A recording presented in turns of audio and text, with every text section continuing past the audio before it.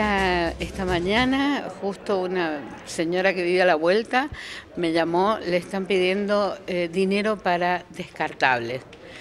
Alsec tiene descartables eh, y en todo caso, si llegan a faltar descartables, los pedimos por otro medio y hay gente colaboradora, pero no falta, no tenemos. Sí están dando un bono de contribución que tiene todos los logos, que es parecido al del asilo y al del hospital Yestakov, pero nada más. No le den plata a nadie, por favor. Gente que están atentos porque esta mujer me llama por teléfono y cuando se ve que se dieron cuenta que me habían llamado y salieron corriendo.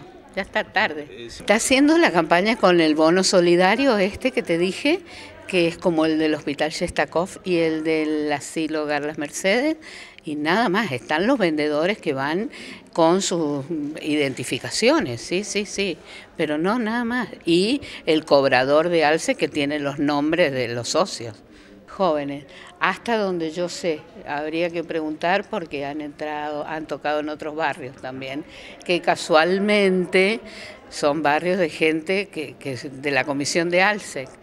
Lo importante es, por favor, no le den dinero.